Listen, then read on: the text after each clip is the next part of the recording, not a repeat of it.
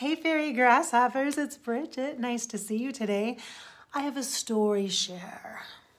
I'm going to talk to you about a recent healing experience I had, a session where I received healing work. Now, I was working with my divine feminine um, coach, let's call her that, because that's probably the best way to describe her. I've been working a lot with the energy of Shakti recently in the last few months, since probably the solstice, the summer solstice. Really rocked my world, let's just say. And prior to that, in the beginning of the year in January, so for the first six months of the year, I was working on my role as a as a mother and changing my relationships with my kids in positive ways. And I had um, started to work with this divine feminine coach, who's a really good friend of mine, who I've known for uh, probably like ten years now. And so I've been doing consistent work with her weekly for probably the last two months, maybe it's Friday night, and when I'm recording this, I'm not sure when you guys are watching this, but I'm having a glass of wine because I'm having a glass of wine. Moscato, if you're wondering.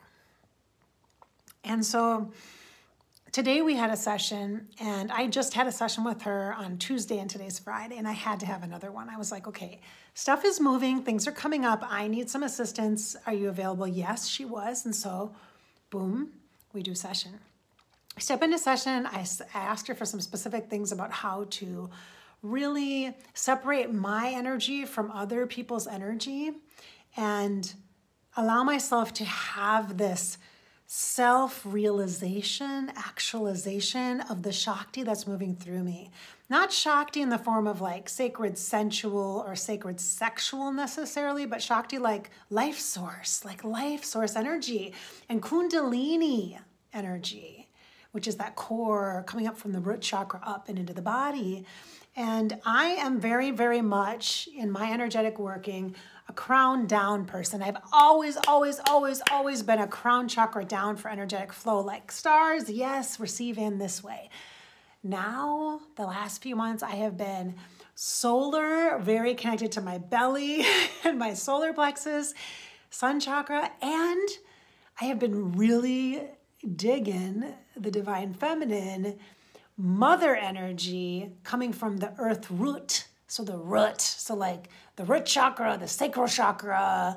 I literally feel like I got my sacral chakra back. I felt like it was gone on vacation closed for business for a while energetically i just and i think it's from the transition of from being a mother in a womb space and being very productive and, and utilitarian and very physical and very functional and overachieving uh, because i've had four kids and six pregnancies and la la la la la fabulous let's just say winning no just kidding okay so here's the thing i literally feel like i got it back this year, this summer. And now we're in the fall. I'm recording this video in October. And I had this session today, this energy session, and, and it wasn't intended as an energy session. I was just talking to her, saying, okay, how do I separate somebody else's energetic feelings or other people's energetic feelings or needs and my own, and my own needs for somebody else's energy in my field. So it could be any anything for you, like if you're working with this yourself. It could be like a, your child's needs. Because I have two kids that are totally different cities, you know, in the collegey vibes. And then I have two kids that are at home. One is in high school, one is in junior high, and then I have a husband working from home. And I just, there's a lot of different dynamics energetically. And so there's this kind of awareness for me to organize things in a way that makes sense, where I also have to be able to really just source myself from my needs and what I want and how I feel and how just this powerful knowing of owning the energy that's flowing through me and choosing how to move the energy through my body. And it is this sacred portal and vessel. It is connected to the sacred sensual, sacred sexual energy of Shakti, but it's also Shiva energy. So Shakti is feminine, Shiva is masculine. And so I was talking to her and we were talking about kind of separating like timelines and past lives and present lives and future lives and all that and kind of just being the center and then this energy of um, this breath work we did a little bit. And at first I was kind of resistant to it. I was like, yeah, I'll do it by myself because it felt very like, oh, oh. I'm like, well, I don't want to get too excited when I'm breathing energy through my chakras with you. I'm like, yeah, that might get kind of weird, I said. And then I'm like, wait a minute. This is just energy work. This isn't mind women should think this and men should think that and this is how it is and it's very black and white and it's very two sex focused and it's not organic and fluid and it but I know that everything is organic and fluid and all that so I'm like what? Okay yes let's do this breath work and I did. I let go and I did it. And I was like whoa. In fact after I'm like I had to tell my kid who was in the I'm in the green room and so it's like concrete and windows and stuff but his room is not that far from me. And I thought, um, I was kind of loud, making some noises, releasing. sounded like I was a, a wild animal. I felt like it, releasing and just like, we did this incredible grief stuff where at the back of my my lungs and my rib cage just squeezing out the energy of the grief and the sadness and like ah! and just releasing it into the earth and like animal like and it felt so good. Oh my gosh. I felt so relieved and so powerful and so peaceful and contented and held and loved and honored and whole and it was awesome. I did not expect any of that but i let go and i just surrendered to the process and it was amazing. And I'm like, it's powerful. And it was this cool like figure eight infinity sign energy and i was really aligned with the divine masculine. I was so connected to the masculine and coming up from the root chakra into the the sacrum which is where the eight original cells are because i've done healing and clearing work. I do that. I do clearing work for myself and i'll do it in session. And healing and clearing is the same it's the yin and the yang it's the masculine feminine. In basic terms when i say that i don't mean man and woman, I mean masculine and feminine as far as dominant energies kind of forces, right? And it was like this base under the kind of under your butt in the back of that tailbone, kind of just holding that space there, versus like the yoni or the vagina in the front for me, like because I'm feminine, so I have girl parts, right? And it's like instead of coming up the front and through the womb space and then to the belly and then up into the heart, I was like under the body, coming back and up and in into the heart from the back, and then kind of allowing that energy from the grief and the sadness and the whatever the that was from lifetimes, just and then breathing it up and then coming back up and in and over the top of the head with the third eye activated and the tongue and the uh, the serpent the the cobra energy and the just the release and the out into the earth, the Kali Ma and oh my gosh, you guys, it was amazing. I felt so powerful and it really gives me a tremendous sense of awareness of my energy, what I bring.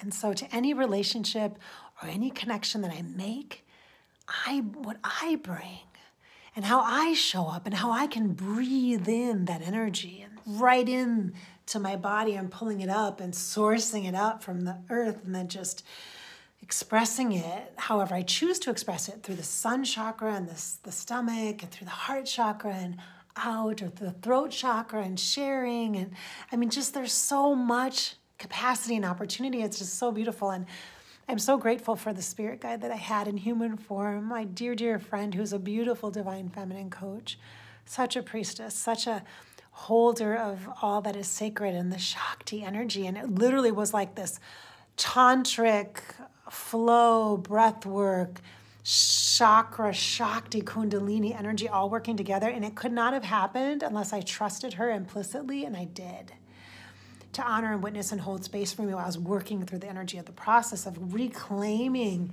my own chakras and my own energy flow and acknowledging that I bring myself to every relationship, every communication, every connection in whatever way I choose to. And when I draw and receive someone into my energy space, especially just my intimate, sacred, personal space, it just, I can draw them in and breathe them in, and then they can so I, I had this experience, this intimate experience with the energy of really feeling myself and knowing myself reflected in that way. And it was profound and confusing and beautiful and unreal and transcendent. And so I think there's so much opportunity to get to know ourselves better and involve, embrace and ev- evolve, evolve and embrace all the access to all of the power that's inside of us. I had such a beautiful experience today, and I, I will never forget how powerful I felt in those moments when I was breathing in and receiving that energy and then exhaling to release it and gifting it to the earth, just like purging it into the earth. And it's like penetration. It's literally like this. It does feel very like almost sexual creation like. It feels creation like, really procreative. And it's like this releasing ah, in, out, and down into the earth. And then it's like this penetrative energy that just goes into the earth and then it comes back up. And then I can receive it that way, just like I gave it. And it's just this like pulsing kind of exchange of balance of life source energy. And it feels beautiful and powerful and strong. And I love it. It felt amazing. And I just wanted to share that with you. I know this is really, really deep. It's a divine feminine journey. It's a Shakti journey, is how I would describe it, and to the sacred feminine. And you have to be able to own your power in that regard and understand it and get to be willing to start to understand it better and build relationship within yourself and your chakras and your shakti and understand the kundalini from the earth and what that means and that the penetration piece is such a dominant part of it that like piercing this kind of barrier and then allowing that energy to move inside of you and not feel as though it's manipulating you or using you, but feel as though you're receiving it and playing with it, working it, working it, and then creating with it, co creating. It's just, it's so hard to explain this, but it's so profound and amazing. So that was good. So that was my Friday. How was yours? mm-hmm. Now you see why I needed a glass of wine tonight, huh? Yeah Right. my heart feels really strong and I feel steady I feel super balanced I feel like this big tree and these branches and the stars and I feel like um, it's weird because my feet like the roots of a tree, I could not feel that. All I could feel was my base of my spine at the back of me, like literally my tailbone, you know, the point at your tailbone, that sacrum. Like if you get a chiropractic adjustment, it's your sacrum. And it, to me, it looks like a triangle and it kind of turns like a dial. Like when I psychically see it on people and I'm trying to like adjust their codes or their energy grids, um, that's what it looks like a dial, but it has a triangle in the middle and it points down like Shakti because that's what mine looks like, I guess. I don't know what everybody else's looks like, that's what mine looks like. And it's right like at my butt, you know, at the bottom of my butt, at my, um, root chakra to my tailbone. I don't know how else to describe it, you guys. And that's just what it is. And then I see the that tap root, like that triangle going into the earth, like like a like dropping in like a tail or a tap root, a tap root, one root, a singular root, not multiple, like fingers into the earth, like feet into the earth and toes. I see root from my core of my base of my body. So like both the places where I can receive in my body, right? I feel the, at the bottom, at the base, I feel the taproot going in as like this third kind of centering, grounding energy. Not my feet, not my legs. It's crazy, but it literally feels like my butt has to be on the earth. Like that's how I envision stuff when I'm grounding myself, because that's how it works for me. You know, that's how it works for me. So whatever works for you, whatever, right? But that's how it works for me. So if something that somebody else is teaching you or a meditation that you're experiencing doesn't quite feel right to you or fit you and you feel like, oh, there's something wrong with you, there's nothing wrong with you. You just have to adapt it and adjust it to meet your unique needs because we all have unique energetic needs.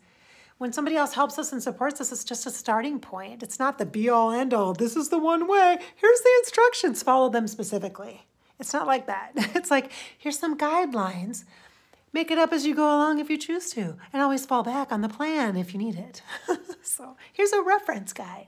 And then make your own. You know, it's like art, right? It's creative. It's a co-creative creation process. So yeah, it's been a really good day that way of being in awareness with myself. And I look forward to my dream state. I wonder if I'm going to process in my dreams. We'll see how my evening goes, but we'll see. I have a couple days to get through the weekend and into next week. And then the week after, I actually am going to go on a trip. I don't know when I'm going to share this particular video on Fairy Grasshopper on my vlog stuff.